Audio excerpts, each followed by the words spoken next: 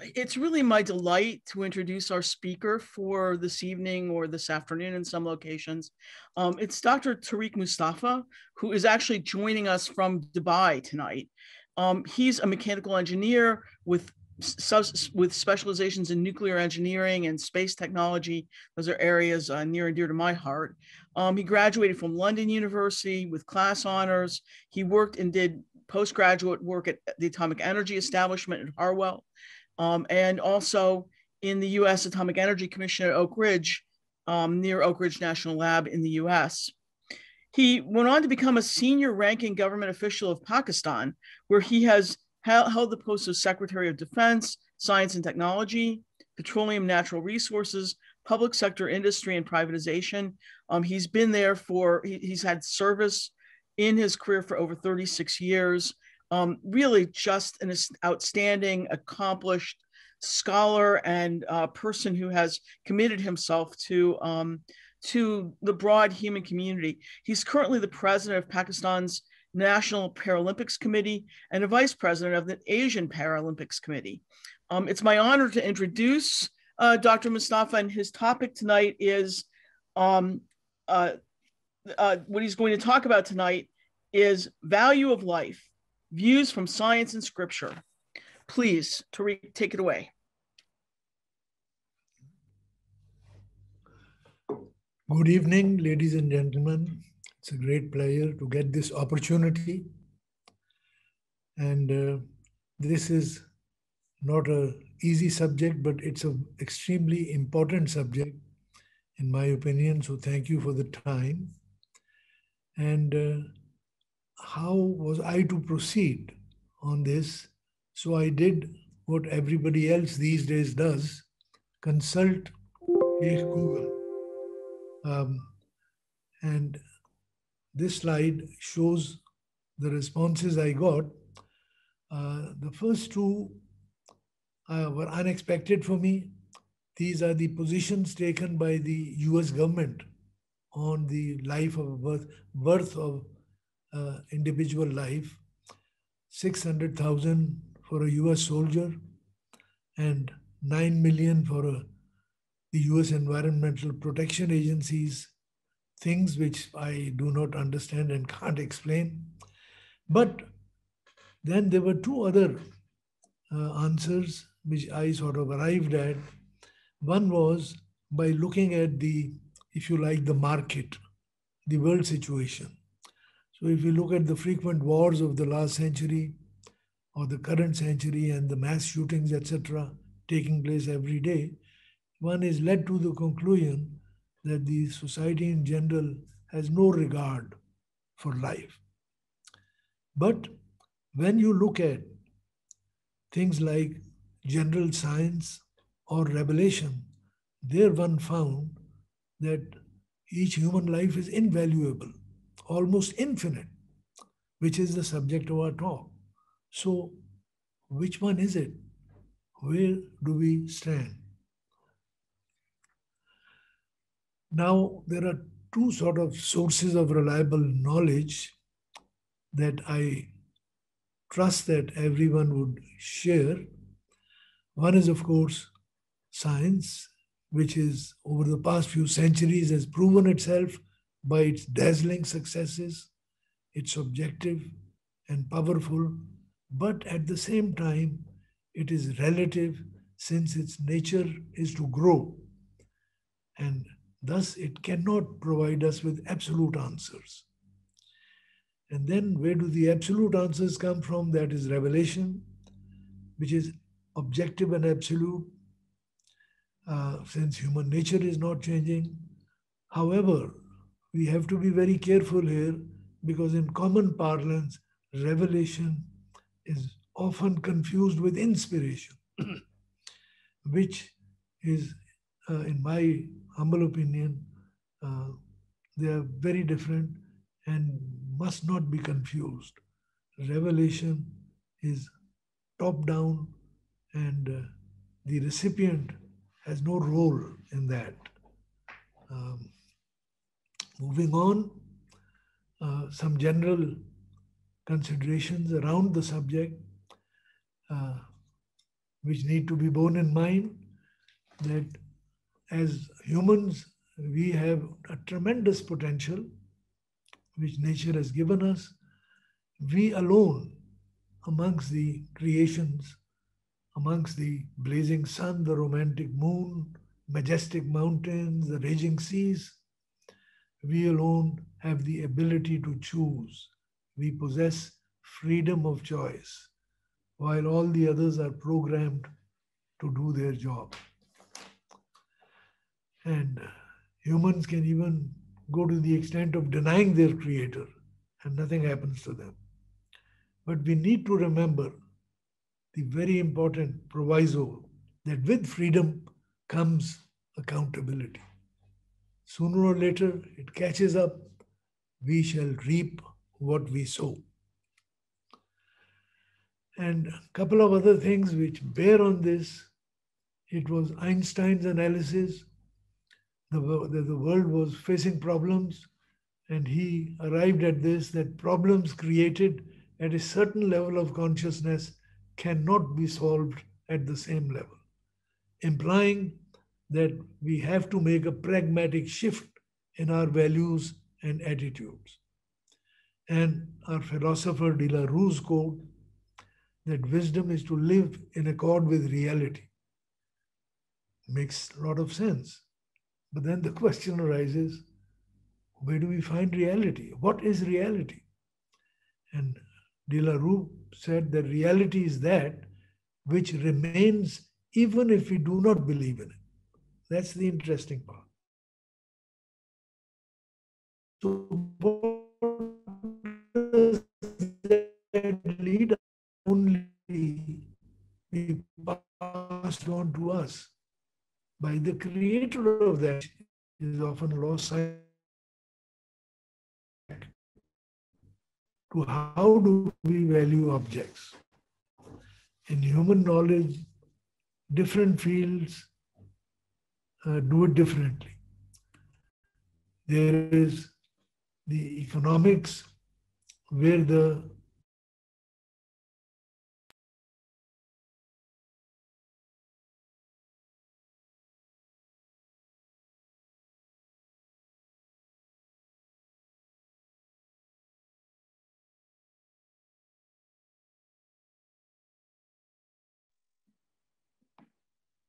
Hi, everyone. It looks like we must have lost Dr. Mustafa from Dubai. If you just give us a moment, we'll see if we can reconnect him. Thank you.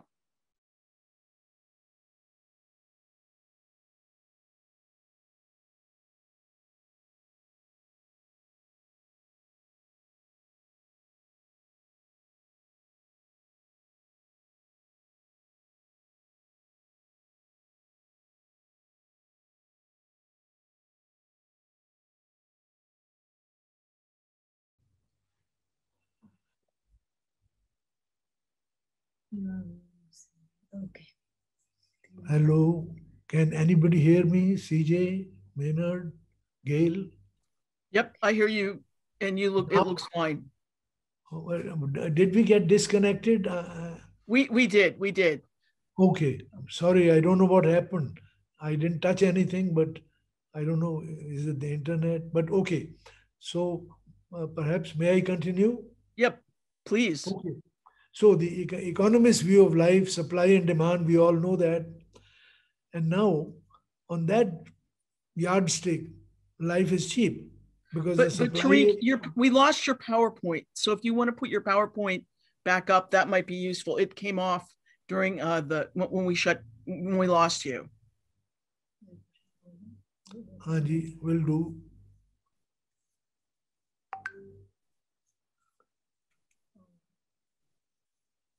Give us a minute, please? No problem. Okay, just.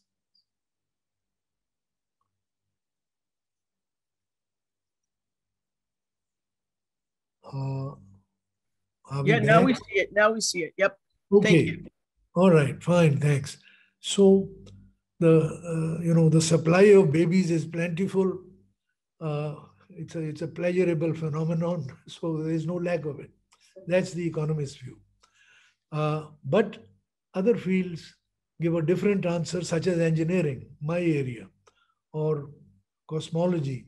In engineering, we all know that the value of an object is determined by the amount of materials consumed, the energy utilized, and the labor employed.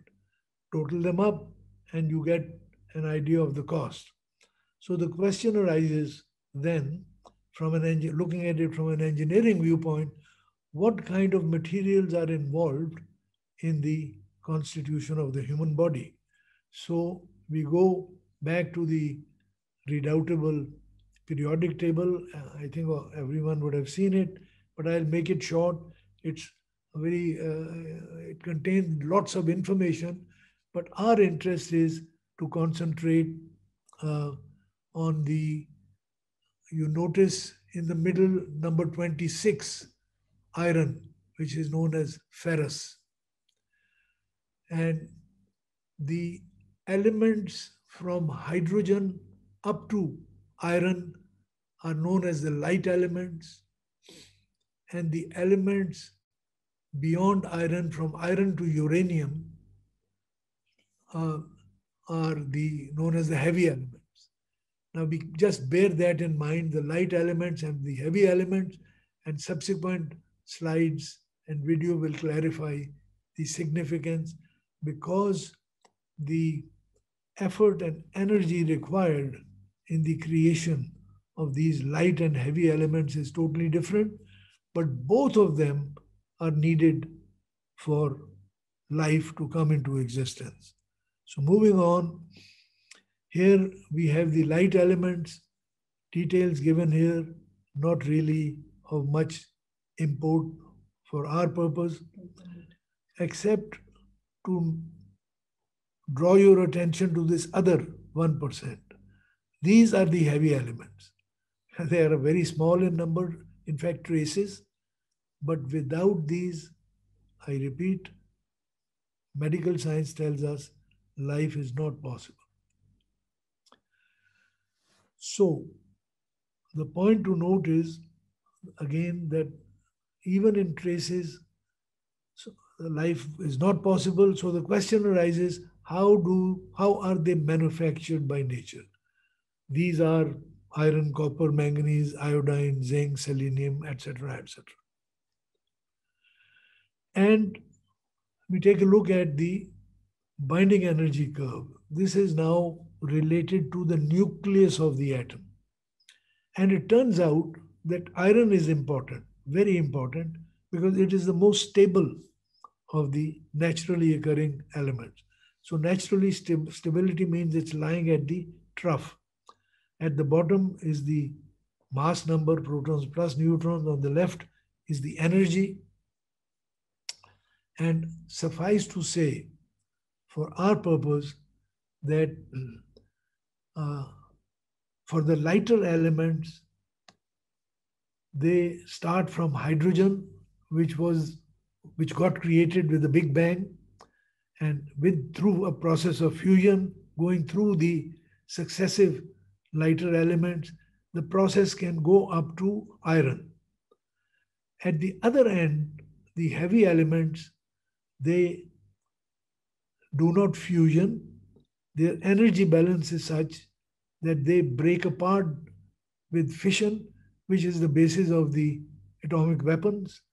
When the any nucleus splits into two parts, releases further neutrons and releases vast amounts of energy, and the neutrons create more, and it results in a chain reaction.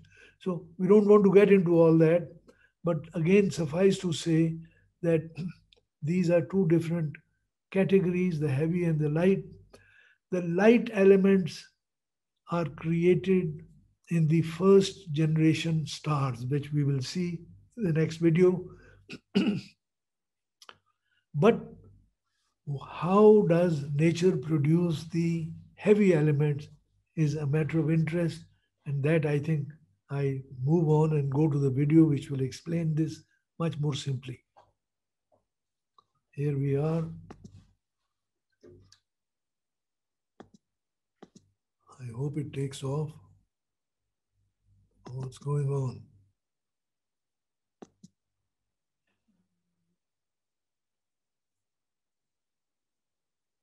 Please bear with us.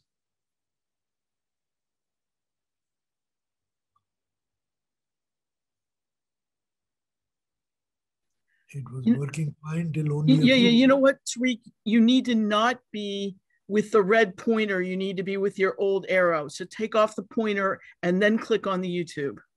Thank you. Will do.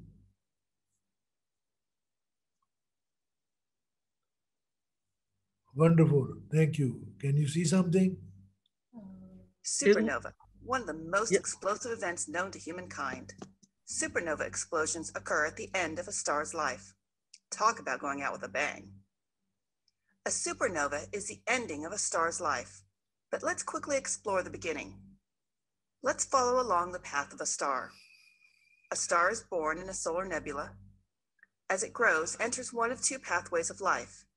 Depending on its size, the star becomes either an average star or a massive star. The average star then becomes a red giant, a planetary nebula, and ends its life as a white dwarf. The massive star turns into a red supergiant, goes supernova, and ends up as a neutron star or a black hole, again, depending on its size. A star is born in a solar nebula and grows to adulthood as a main sequence star. Some stars end up much smaller than our sun, and some much, much bigger. The way a star spends its later mm-hmm. life and finally mm-hmm. dies depends on how big it originally was. Small to medium stars turn into red giants, and big stars turn into red supergiants. These are some of the biggest stars in the universe by volume, although they are not the most massive. Betelgeuse and Antares are the best known examples of a red supergiant. Stars which are eight times or more massive than our sun, whether they are red giants or red supergiants, end their lives in a most spectacular way. They go supernova. A supernova is an explosion that occurs when the star runs out of fuel and fusion stops. Without the outward pressure from the fusion in the core, there's nothing to counteract the inward pressure of gravity. What happens first is that the outside of the star swells into a red supergiant. The core of the star begins shrinking and grows hotter and denser. For a while, a new series of nuclear reactions that turn the core to iron occur, which temporarily stops the collapse of the core, but it is only temporary.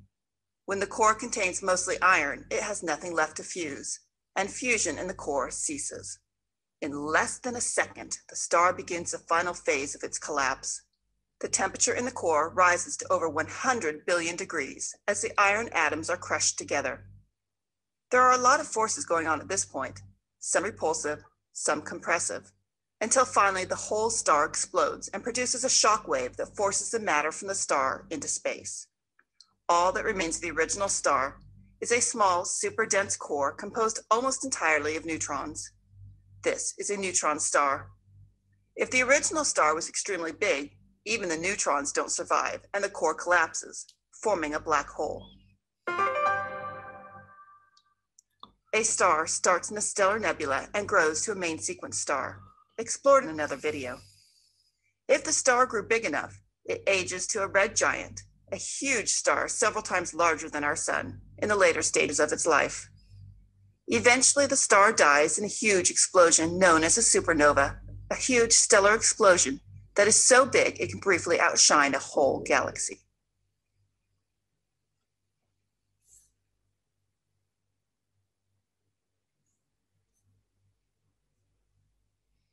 Okay. now that we know all about stars, uh, the point really was that this supernova explosion, which is necessary to create the heavy elements which are necessary for life, that's the underlying thing. And it is said that a thousand years ago, a Chinese astronomer he noticed a star appear in daylight, and that star was visible uh, throughout a few generations. So modern astronomers turned their telescopes to that spot, and lo and behold, they found the Crab Nebula of today located at that point.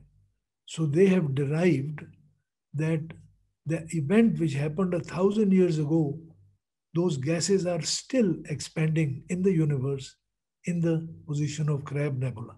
So, so the point from our angle is that so much energy and so much time is taken by nature to produce the components which go into the construction or if you like evolution of human life so in engineering side we said it's the amount of energy and the amount of time it takes billions of years before life could come into existence i will not i'll skip over the summarization which simply uh, emphasizes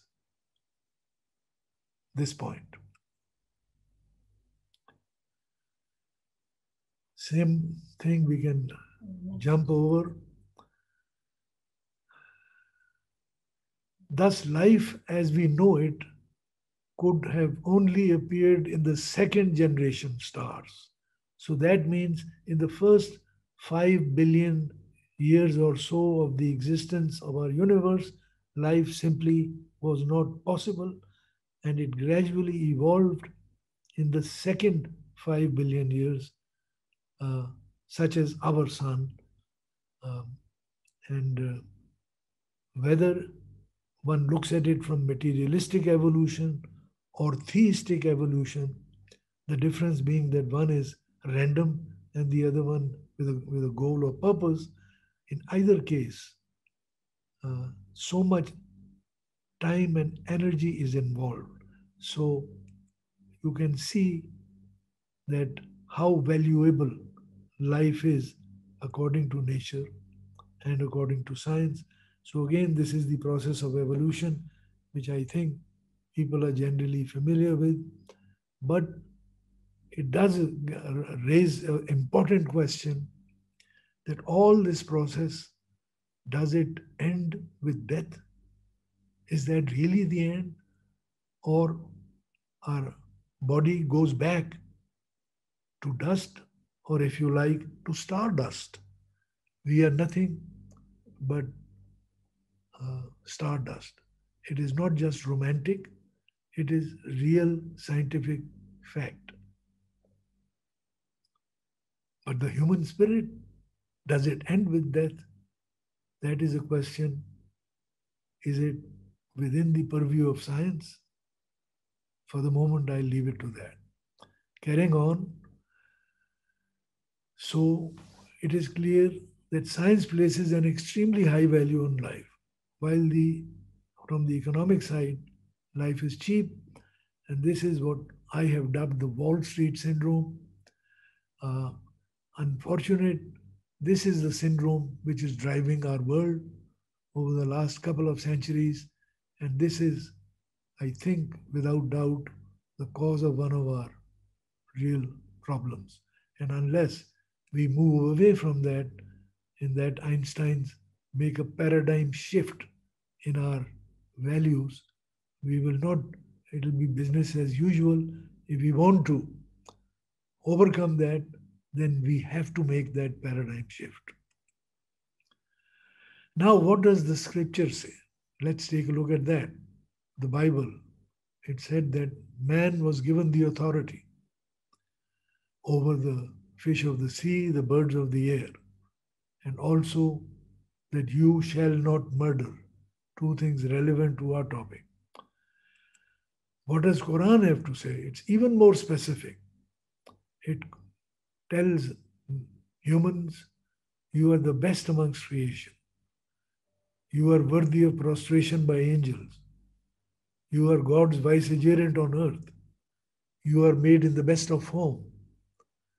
And there is honor for children of Adam. So we can see that scripture puts life at a high position. So does science. And interestingly, here is something that the Creator decreed upon the children of Israel that if anyone killed a person not in retaliation or murder or to spread mischief in the land, the two exceptions, it would be as if he killed all mankind. Imagine. Killing one is as if he killed all mankind. And if anyone saved a life, it would be as if he saved the life of all mankind. So, from this, being an engineer, I could not get over the conundrum that how can a part equal the whole? It just had difficulty in reconciling this till I came across the mathematics of infinity. And there I found, and it is there for anyone, that it is well recognized that infinity divided by infinity is not one, like x over x is one or 5 over 5 is one. Infinity over infinity can be zero or it go it can be infinity. The condition is that the number involved has to be infinitely large. So again, this ties in, it tells us that the subject matter, life that we are talking of, is so valuable that if you kill one, it is as if you are guilty of killing the entire mankind. How much importance revelation gives to life. But at the base of all that is morality, ethics, and values. Because without, without that foundation, one cannot build society. But the question then arises where do we find those values, those that instructions? Where is the we have constitution for humankind. The US constitution broke, broke fresh ground so humankind also needs a constitution. And that would spell out the morality, ethics, and values required. But can they be arrived at by science?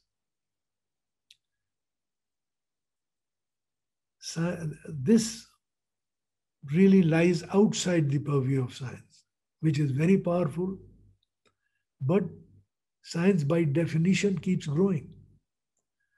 And morality, ethics, and values, since human nature is fixed, cannot be variable, cannot be changeable. So they can only be defined by the one power, authority which created them, the creator of the universe.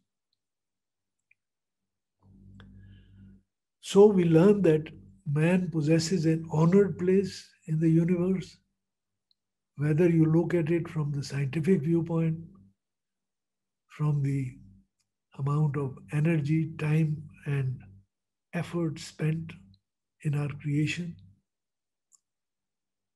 or whether you look at it from the revelation angle, that we must recognize, understand, and own this fact. Because if we value ourselves, that is what will lead us to value others.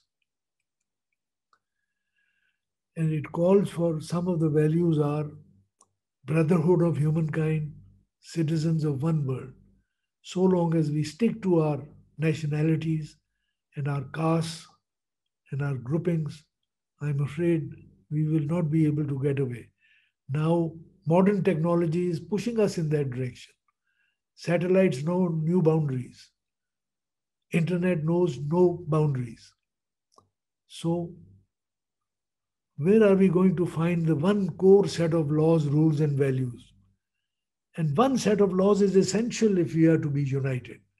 Because, yes, you can drive on the right side of the road in America, you can drive on the left in UK and the Commonwealth, but up in the air, can the planes follow two different laws? Up on the seas, can the ships have two different laws? So we are bound with one world, we've got to have one core set of laws. But our systems today do not respect that. We have to undergo this paradigm shift in our thinkings, attitudes, and values if humanity is to thrive and not just to survive. So the conclusion that I arrive at and place at your uh, consideration is that humans have been given a place of honor by both science and religion. And if these two fields agree on a subject matter, then we better take note of that. we have been given the freedom of choice, but we must not forget the accountability part. We shall reap what we sow, whether here on earth or perhaps in the hereafter, but regardless, that is there. And uh, here, if I may submit a view of Carl Sagan, I think everyone would know him. I am a great admirer of his, the late Sagan. He said that since science can explain everything about the universe, I have no need to believe in a creator God. However, if anyone can show me a single item which cannot be explained by science, I will be willing to reconsider this position.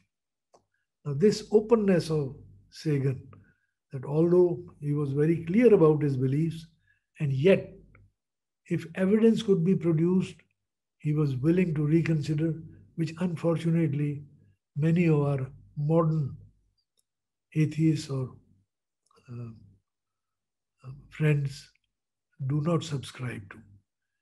And I am prepared to meet this Sagan's challenge using rational reasoning based exclusively on concrete evidence, not faith, to show that such a single item does exist.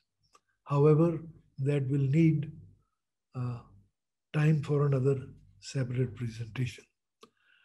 I'd like to thank you for your patience in listening to my rant, and I'm ready for any discussion or questions. Thank, thank you. you. Thank you so much, Tariq. Um, really a, a, a, very pleasant and enjoyable talk. Um, we have a respondent for you, um, and the respondent is uh, Dr. Paul Carr. He is an IEEE Life Fellow. Um, he is led a branch uh, at the uh, at, at one of the um, Air Force uh, research laboratories on low cost surface acoustic wave filters that have been used in cell phones and radar. Um, he received the Templeton Award for Science and Religion course that he taught at UMass uh, level. Um, and he wrote the book Beauty in Science and Spirit. He championed the 2017 IRAS Cl Climate Challenge Conference and received the 2018 IRAS Academic Fellow. Um, he's published over 90 papers and many of them even in the Zygon Journal. And you can see he's modeling his, uh, his, shirt for us, uh, which is very nice. Very nice, Paul. Perfect. Perfect for the occasion. So, so Paul, please, uh, um, please start off and give us the response to uh, Dr. Mustafa.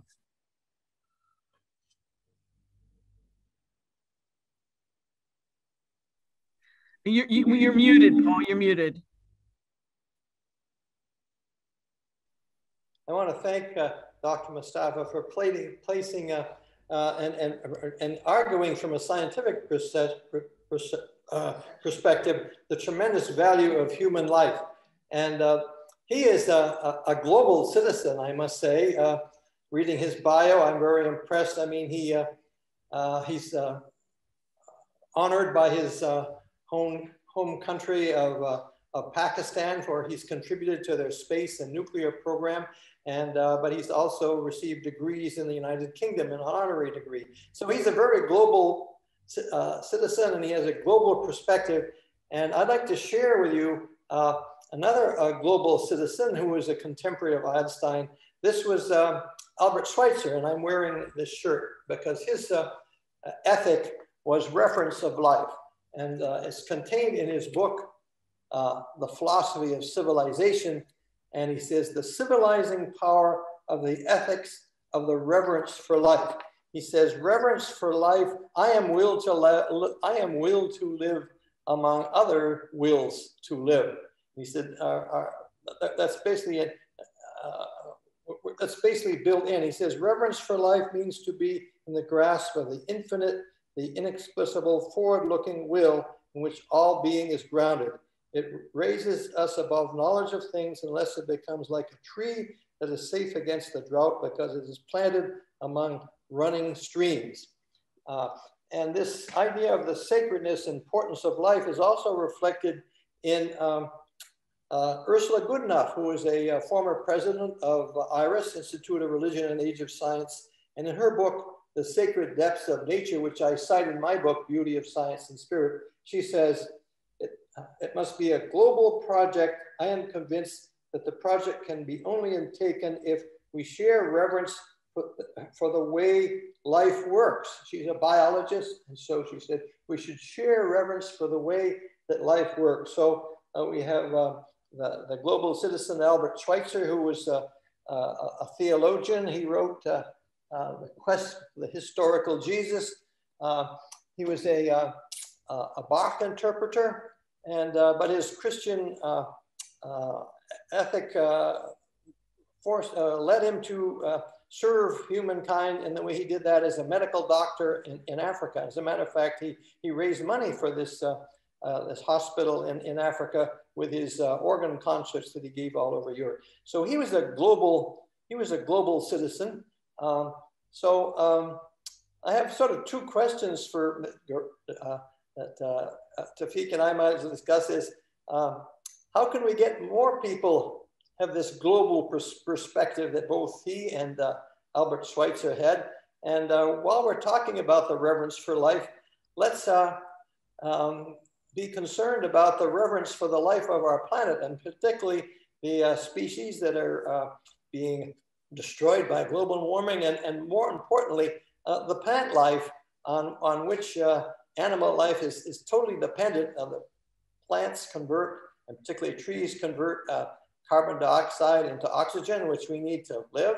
Uh, so two questions, how, how, can we, how can we have more global citizens and, and how can we, uh, uh, how can we also have a more reverence for not only human life, which uh, Tawfiq, I think, uh, uh, has, has, argued, though, but also for plant life and the, uh, uh, and the life of our planet? Well, that, Paul, is the what do they say, six million dollar question. it's one thing to you know say good things, subscribe to that, and quite another in this practical world to bring it about. That's but right. my view on that is that you know it calls for international action. It cannot be done on the basis of nations. Unfortunately, our United Nations of today is more a cacophony of nations rather than acting as a united nations. So we've got to Im- improve and upgrade and modify that body. The idea, it, it works on, it, it came into being after the first, uh, second world war. Now that's almost, what, 70 years ago? Yes. Now that's, the world has changed. Security Council, with its veto power, is not what we need today. That hinders rather than promotes. So, United Nations should be made effective. UN must have their own source of funds. They should not be dependent on contributions from nations. They're not beggars. You know, if, if your government is a beggar, then how can they bring about changes? So let them have, and we where, where, where do the funds come from? Well, instead of fighting over Antarctica uh, or the uh, satellite orbits where communication satellites uh, uh, uh, provide this service, let us put them at the disposal of UN. Let the moon, let the Mars be placed at their disposal. So once they have source of funds, then they will also should get the policing functions. They should not just be an advisory body, but they should be able to implement what you are saying.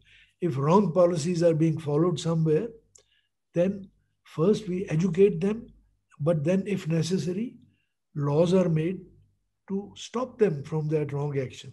So, UN has got to be made more effective. Provide them with universal minded individuals with a proven track record. Uh, like the uh, South African president who has passed away, or like the Prime Minister of New Zealand today, or maybe even Angela Merkel. You know, these are people, if they are made, shall we say, members of a Sages Council to help the Secretary General, then they will have a voice which can be used against the wrong use of vetoes. So it's, it's a gradual process of uh, uh, improvement, and we have to sort of work on public opinion. If the public opinion today through social media can get mobilized, we know that. So maybe a start can be made by IRAS. In fact, I've at times tried that IRAS should devote one of its sessions to answering the question that you have raised. How can we go about implementing, uh, you know, this these follow-up actions? But if we don't, business as usual is not the answer, and we may well end up making a mess, if not destroying our world. Thank you. I, I, agree. We need a much stronger UN, United Nations. You've also, by the way, been a member of the World Health Organization and uh, uh, and have served on UN committees, as I recall. Uh, no, I, I, I, didn't get the honor of being associated with UN, but my association is with the Paralympic movement. You know, this is the people with special abilities. Yes. Paralympic Games are now scheduled in Tokyo uh, after a year's postponement, and that will be held in September. Okay, thank thank you both. I mean, I think now what we'll do is open it up for questions. I mean, but Paul, I mean, you can continue to have dialogue if if there's if, if you think there's more to pursue here. Um, I'll, Paul, kind of leave it up to you as to whether you want to ask Tariq any more questions before we go and open it up to the uh the, to the rest of the group. Well, I think uh, let's open it up to see what the rest of the group has, has to say. Okay, um, so let, let's start uh, with, with uh, one of the first questions. Um, with fewer people having kids or number of kids, will babies still be considered plentiful? I think, Tariq, that's for you. Well, our experience so far is that the babies are plentiful. I mean, you know, China tried this one child policy, but they are coming back to two and now three. Personally, I don't think that is the problem. If we take care of other things, we can even accommodate probably the babies because there is a, we are only, you know, in the earth, but the planets are open for us. Uh, Elon Musk is trying to go to Mars. Well, Mars is a pretty big planet. There's plenty of room for our uh, successive generations. If our attitudes if our values, if we stop fighting each other, you know, the, the main thing is the quarrels that we have somehow not been able to overcome on this world. We, we have these films like Star Trek and so on. None of that would be possible unless we learn to work together, to live to, uh, with each other on this earth of ours. But at the moment, we came out of one Cold War and now we see another Cold War. Uh, signs building up. We've got to take care of this. And this, how can we do that? So long as we keep thinking in terms of nationalities, my submission is it won't work. We have got to get out of this five centuries old Westphalian concept of nationality. We are humans are one brotherhood. Caste, creeds, etc we've got to learn to coexist, have respect for each other. And that germ is what I'm trying to sow that there is so much value attached both by science and by scripture. Then it must be if, if these two forces can agree, why can't we get together? We just have not made the effort and uh, our leadership, shall we say, or we in the end, who are our leaders? They are part of us. So we've got to make a serious effort, and I dare submit that there is no other choice if we want to survive and not blow ourselves up. Thanks, Tariq. Um, so here's so let me. Uh, there there are several other questions. Um, how can we include a greater emphasis on the other, a way of starting to achieve the change you are advocating? The UN has recently recognized this and has made room for the forgotten indigenous people of the world, um, for them to be included as humans just like the rest of us.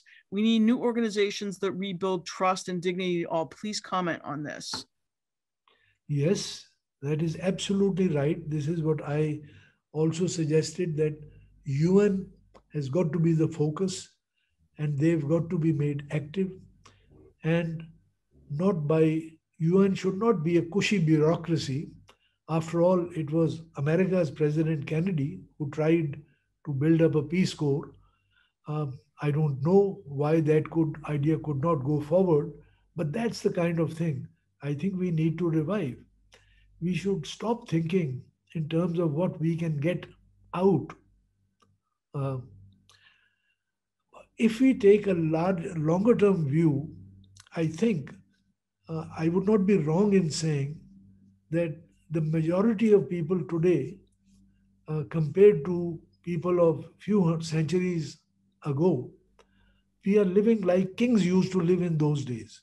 You know, the facilities that we have. So it is possible for us to provide these facilities to all the people of the world. If we can divert the resources which we are spending on fighting and defense Unfortunately, I got sucked into that profession. But if we can do that, then I think without uh, affecting the living standards of the first world, we can bring up the rest of the world, hold them by their hands from the income generated from Antarctica and the deep oceans and the moon and the orbits it is possible to provide those resources. And once those are available, this disparity, look at the rise of billionaires, you see. Is that a good trend? Now, it's nice that people get rewarded for their efforts. But if 1% of the population controls more than 50% of the resources, can things ever be right, you see? And the worry is that this is on the increase in all countries of the world billionaires are so this is the kind of change of values and attitudes which is called for in my humble opinion. Okay tariq i mean here so here's the next one. So the world needs an attitude shift a mindset many speak about to change the world. Do you have a concrete set of points for a worldwide constitution based on scriptures? This is what I requested that if I am given, this is a serious topic, a complex topic, my answer is yes. If there is none, we have to create one, but there is. We have to put in that effort and to locate that. I think revelation has been an ongoing process ever since Adam, the very first prophet, and through the whole uh, process of prophethood, Abraham, Moses, Honorable Jesus, Muhammad, the core of their instruction is the same.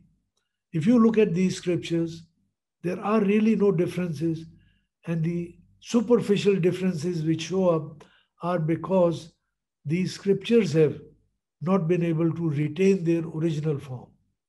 Now, this is an area on which we need to work at I tried to do that. I submitted an article in Zygon of September 2008, and uh, those seriously interested, I would request them to take a look at that. That is the development of objective criteria to evaluate uh, various revelations. So first we agree on an objective criteria. Otherwise we get into debates and it becomes a slugging match and uh, politics enters and our past.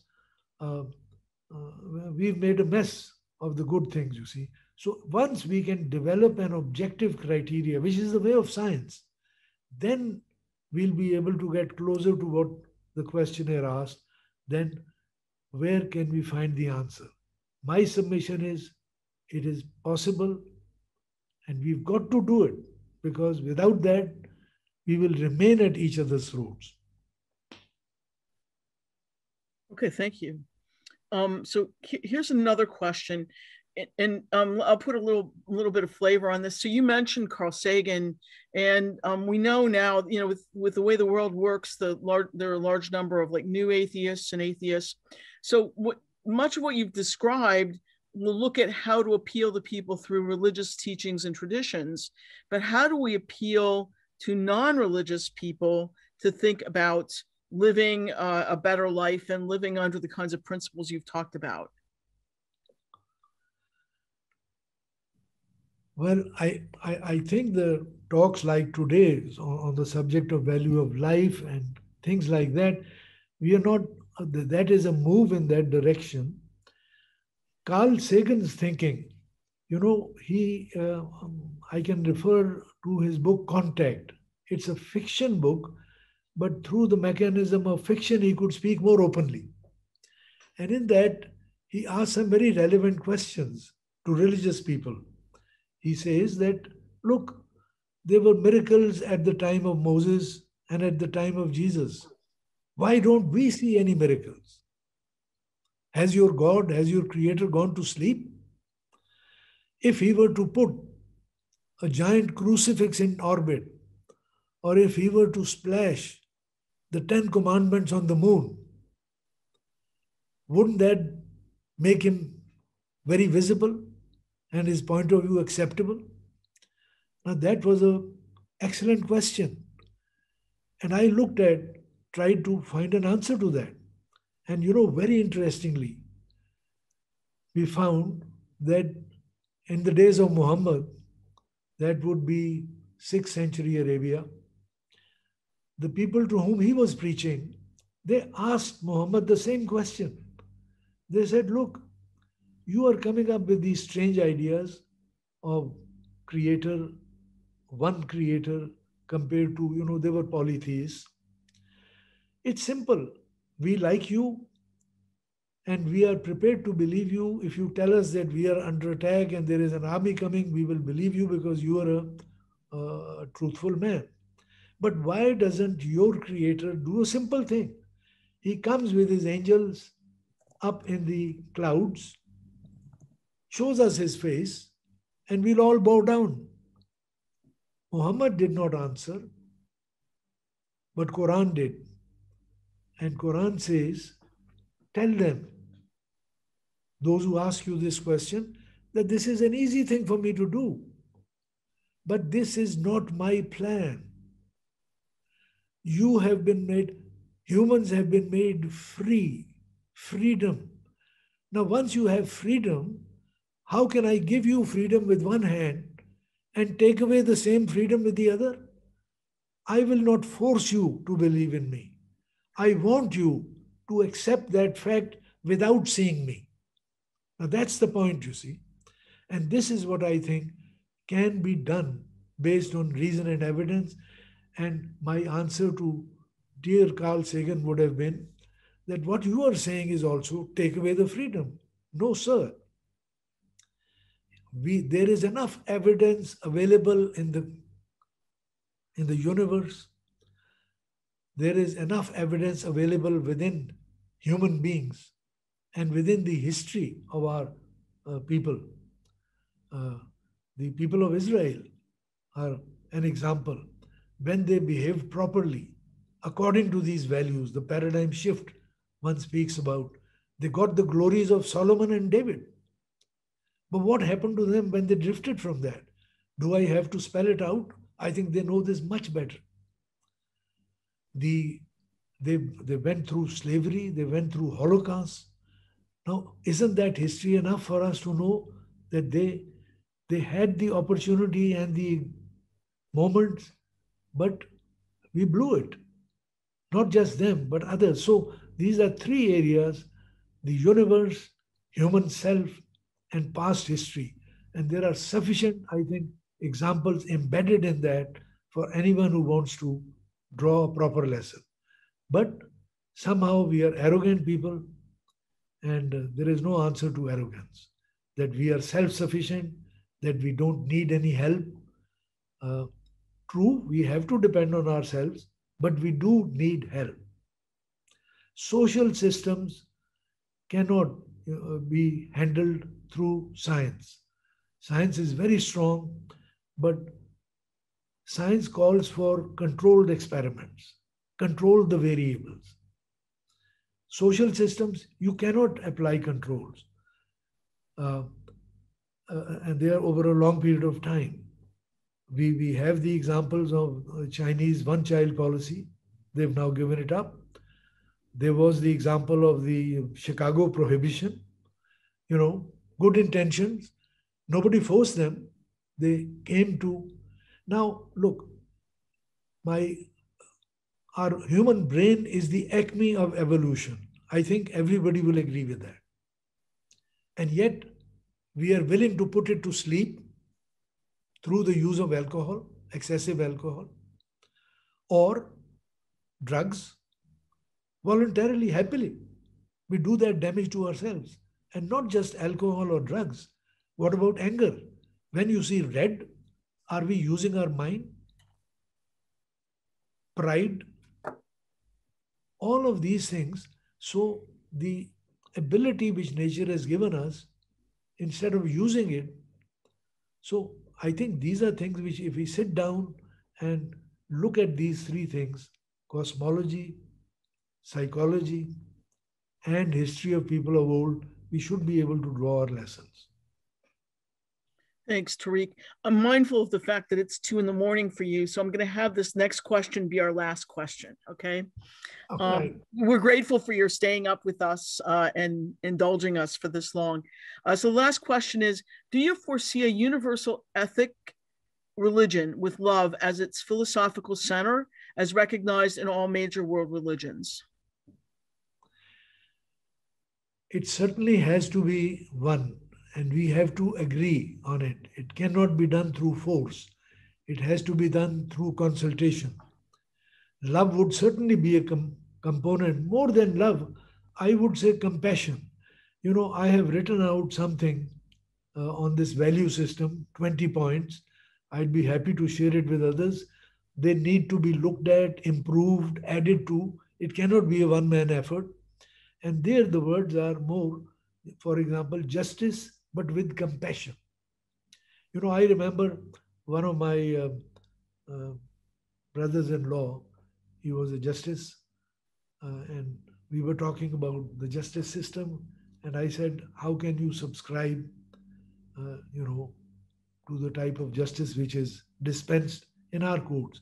He said, Tariq, let me clarify to you. We are not here to dispense justice we are here to apply the law. That the law is just is not our responsibility. That's the responsibility of your Congress or your Parliament. So you know that I that point occurred to me that so we have to go back to the Constitution. We've got to have the correct Constitution. So once that Constitution and US Constitution was a good start the same thing can be updated to cater to the world of today. But one has to have a unified constitution because without that, and then would come the execution part. And that simply has to be done through consultation. There is no other way. And consultation needs a proper platform. And there is no other platform but the United Nations, but it has to be effective, you know. People who who are committed, and I'm, I'm sure there are people. So maybe IRAS can make a start from a working group, or but it needs attention. Without that, we'll get nowhere. Great. Thank, thank you so much, Tariq. This was a fabulous uh, discussion. I think people are uh, really, really impressed and pleased uh, to have heard you today.